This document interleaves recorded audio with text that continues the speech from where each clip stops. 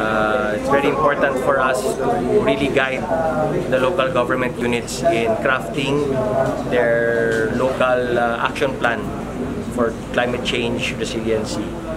And uh, although some LGUs have their own local plans, uh, Climate Change Commission can do a lot in enhancing or improving or leveling up their uh, current plans.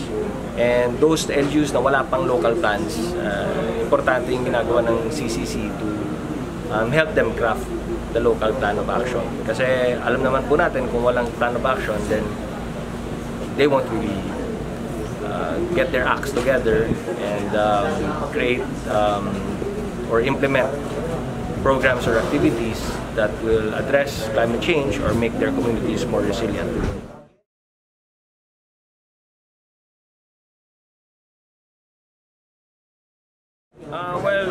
Uh, we really need uh, the ILG support. You know, um, different national government agencies like DILG, uh, DNR uh, can help us um, get the LGUs on board, uh, which is what the president is currently doing. No? He's currently acting on all of our problems uh, with regard to, um, like for instance, in Boracay, uh, the Manila Bay, the Laguna Lake, um, and uh, the different tourist destinations as well. No, we've acted on Siargao, we've acted on Coron, uh, other areas in Palawan.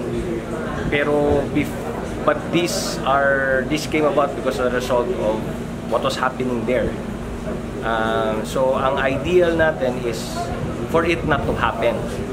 And that is why we really need to get the LGUs, in fact mandate them to create their plan of action and implement the plan of action para hindi na dumami yung mga LGUs na magkakaroon ng ganitong klase ng environmental concerns or problems.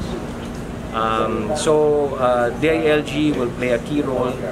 Um, the DNR, uh, of course, through our cluster, no, the Climate Change Adaptation Mitigation Disaster Risk Reduction Cluster, is also very key.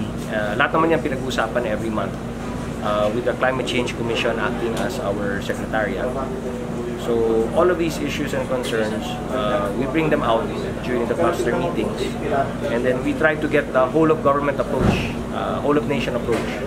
Um, but uh, uh, at the very least, at least yung mga departments and agencies that are with us at cluster can on their own um, implement their own programs and activities, but also to involve the LGUs uh, sa pag-implement din ng kanilang respective uh, action plans uh, in their own localities.